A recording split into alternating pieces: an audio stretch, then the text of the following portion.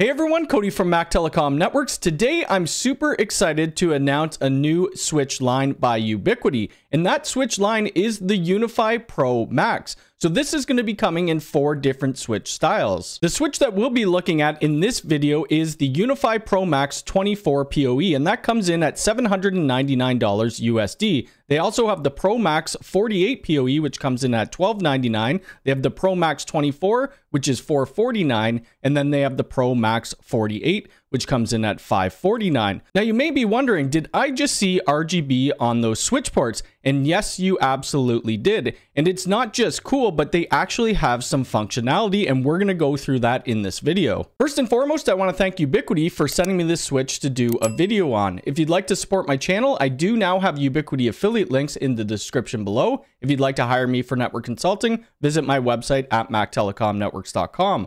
Now let's take a closer look at the Pro Max 24 PoE. And this is our UniFi Pro Max 24 PoE, and you could tell I already have it out of the box. I was really excited when I got this, so there's not really going to be an unboxing, but I'll show you what comes in the kit. You'd see the LCM on the front that says USW Pro Max, and then a lightning bolt, which will tell us that this is the PoE version. The first eight ports on this switch are PoE+, the second eight ports on this switch are PoE++, which is great, and then the last eight ports on the switch are PoE++ and 2.5 gigabit Ethernet interfaces. I really like that they've added 16 PoE++ to this switch as we're going to be using it more and more. We already have the U6 Enterprise, the U6 in-wall, the PTZ camera, and their UniFi access gear that requires PoE++. On the end, we have two SFP Plus cages for our 10 gigabit uplinks, which I will be using. I'm going to be replacing this switch with my USW Enterprise 24 PoE, and if you've been around my channel long enough, you know that that's my favorite switch. Well, now this has taken the top lead for that. This is a wicked switch and I'm going to be recommending it to anybody. Now on the back, we have our power supply, which we can lock in our power cable. So all we do is put the cable in, and there's this little locking tab that we just push over. And now our power cable is locked in, which is a great feature. On the other side, we have the USB connect, which would be connecting to our RPS system, which I have, and I will show you that. Now, this is the box where our hardware kit comes in, and as always, Ubiquiti does a great job with the packaging. We could open up this hardware kit, and this will be for our rack accessories, and then we have our rack ears, and there's nothing else in the kit. Another cool accessory that we're going to pair with this switch is the Etherlighting patch cables and they're 0.15 meters or 5.9 inches. These are brand new and within the box we get 24 patch cables. Now let's open it up. On the back we have this pull tab. And then on the inside we have some plastic packages that contain the patch cables. Now let's open these up and see what the patch cables look like.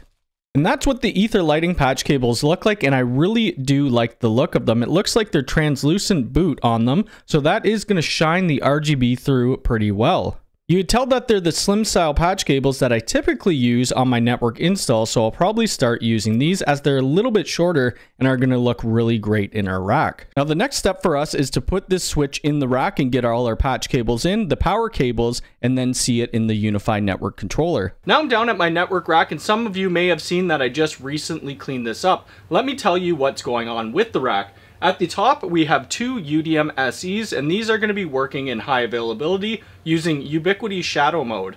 Uh, below that, we have a Ubiquiti patch panel, and then below that, we have my USW Enterprise 24 PoE, which has been my favorite switch up until now. Underneath the Enterprise switch, we have a brush panel, and then we have my aggregation switch. So what we're gonna do, we're gonna rip out the Enterprise switch and put in the new Pro Max 24 PoE. So let's get started.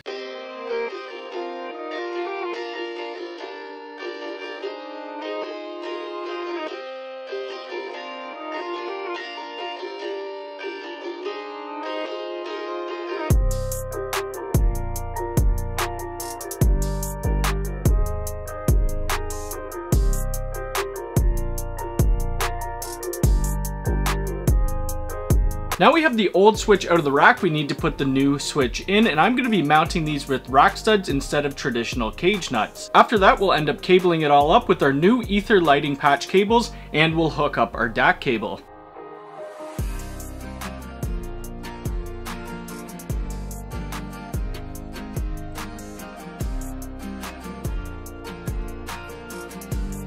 We have the switch powered on and you can see the RGB going back and forth. Now we need to get the Etherlighting cables plugged into my patch panel down to the switch.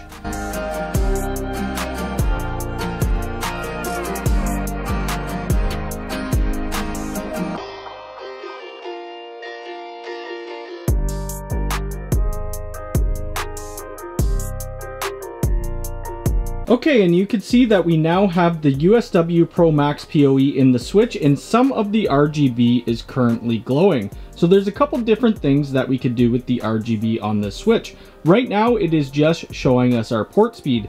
So these white lights, that will mean that it's gigabit or 10 gigabit these amber lights will be 100 megabit, and then these blue lights, those are gonna be 2.5 gigabit. We could also change the color on the SFP port, and we'll show it in the dark so that you could get a better picture. Another thing we could do with the RGB, we could set it to a network. So we could have, say, our camera network being blue, we could have our VoIP network being red, so on and so forth. So that's really cool and we'll take a look at it in the software. Now at the back, I do have the RPS cable plugged in, which is great. So that will give me the redundant power supply. And then you could also see that I have the locking power in. So now let's go back to the UniFi controller and see the settings that we could do. Now we're inside of my UniFi controller and we could see the USW Pro Max 24 PoE. When we click on it, we could see some of the settings. We could look over the overview and we could see the switch itself and then the ports that are currently plugged in. If we hover over one of these ports, it will tell us what is connected to it. Alternatively, we could go into the port manager to do that as well.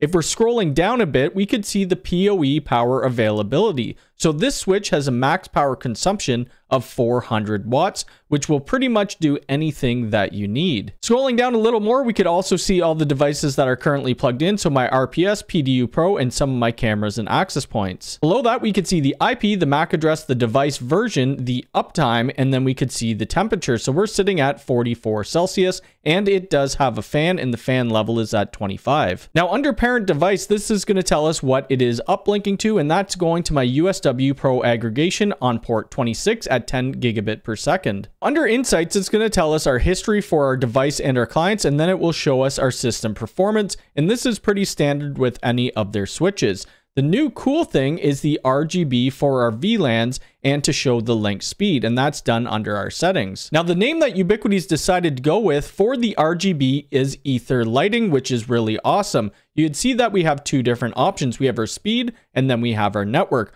One really great thing that we could do, we could change the color to whatever we want. So we have fast ethernet being this amber, we have 2.5 being blue, and then we have gigabit being white, as well as 10 gigabit. But if we click on the port, say the fast ethernet, we could switch it to anything that we like. I'm going to leave these ones at default, but let's take a look at our network. Now, under my network, I have six different VLANs. We have default, we have YouTube, we have Dolores, we have 74.156, camera, and Chantel. So we could switch these to whatever color we want, and I'm going to try to do some that are fairly bright. So I'll click on my default, and we'll leave this one to blue, but the YouTube test, I'll put this to more of a purple. The Dolores will leave at green. 74156 will do this more of a red. The camera will end up doing a yellow. And then for Chantel, we'll just leave that as is and we'll apply the changes. Now looking under the port manager of the switch, you could see that I have a few devices that are running on 100 meg per second. We have a couple that are gig, and then we have my two access points that are running at 2.5 gig. I also have two switches that are using PoE++, and those are my USW flex switches that power up my cameras. Now what I'm gonna do, I'm gonna put some of these devices in different networks than they're supposed to be in, just so we could see the RGB. These ones I'll leave at default, and then these next two, we're going to switch over, and we'll put that at the 74156 network. Number 12 and number 16, we're going to move that over to the Dolores network. Number 19, we'll put over to the Chantel network, and then number 20, we'll do it onto the YouTube test network. This way, we should be able to see what all the colors look like. We're also going to be looking at the RGB for the link speed.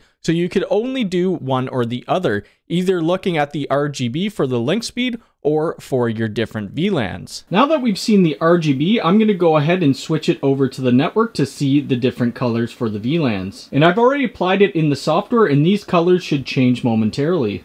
And look at how cool that is. We could tell the different colors. The camera might not be picking it up that well, but it does look pretty awesome. There is this soft glow that goes in and out, which is really cool. There is one other thing that we could do where we could locate a port, and I'll show you that now. In the UniFi Network controller, I put it to show us where port 6 is, and you can see that it's blinking right now, and that will make it very easy to identify.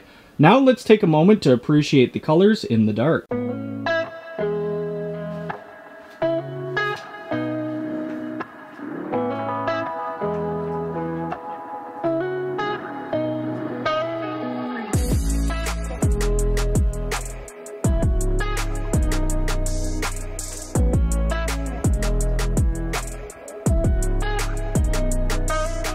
Now for the most important question of them all, do I recommend this Switch? And heck, yes, I do. It comes in at the same price as the Enterprise 24 PoE, but gives us PoE++ in the Switch. The RGB not only is cool, but it gives us some awesome functionality. And those Etherlighting cables I really do like, and I'm to start deploying them every install. If you have any questions about the UniFi Pro Max 24 PoE, let me know down in the comments below. If you like this video, hit the thumbs up button. If you're new here, please subscribe and hit the bell icon. All right, thanks.